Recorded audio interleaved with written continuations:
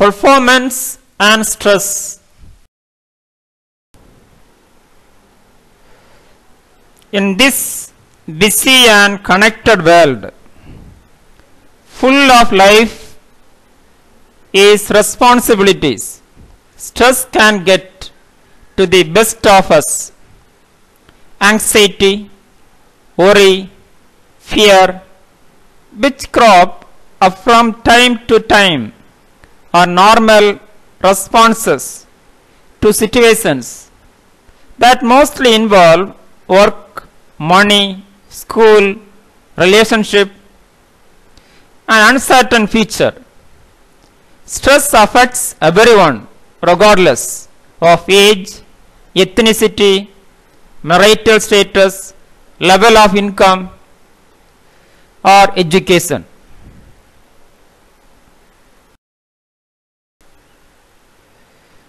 But how does stress affect our bodies? And what is the best way to deal with it? This is a human performance curve, figure below.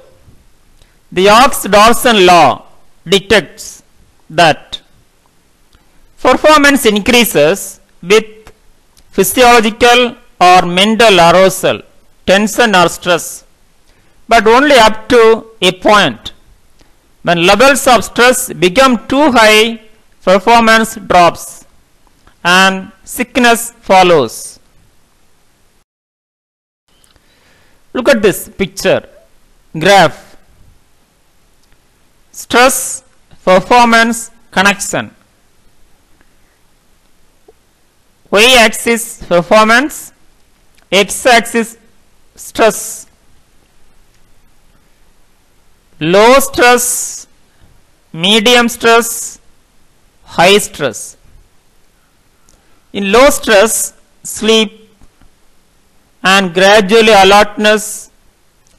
In optimum stress, high performance. Then over stress cause anxiety, disorganization and leads to illness.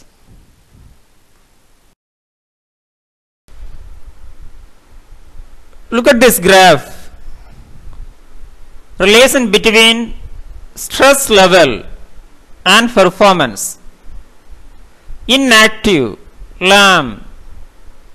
Optimum stress, healthy, peak performance stress overload, sick, burnout, breakdown, diseases, detail going on.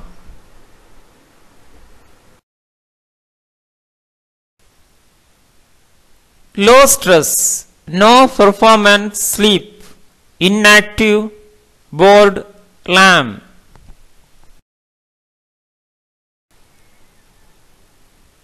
Optimum stress, high performance, healthy tension, motivated, focused, moderate levels of stress make us alert by heightening our senses. This helps us perform better in certain circumstances such as public speaking or working to a tight deadline. Athletes use stress to run faster, jump higher and respond quicker.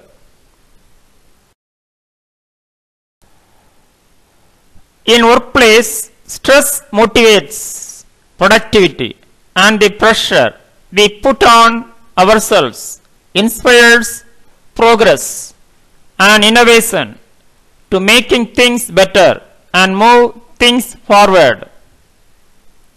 So stress can be very useful and healthy.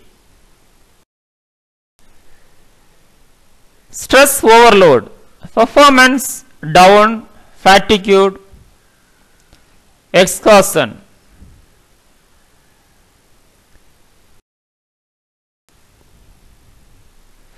High stress, chronic or high stress can lead to headache, insomnia, high blood pressure, anxiety, depression, digestive problems, chronic low back pain, weight gain, and a weakened immunosystem, which then opens the body up to many other illness and diseases.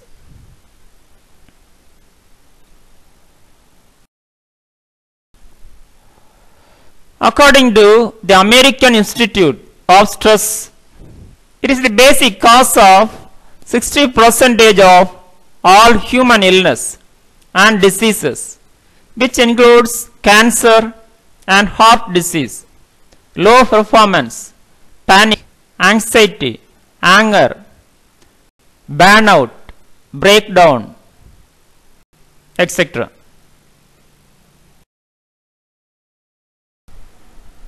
Thank you. Have a nice day.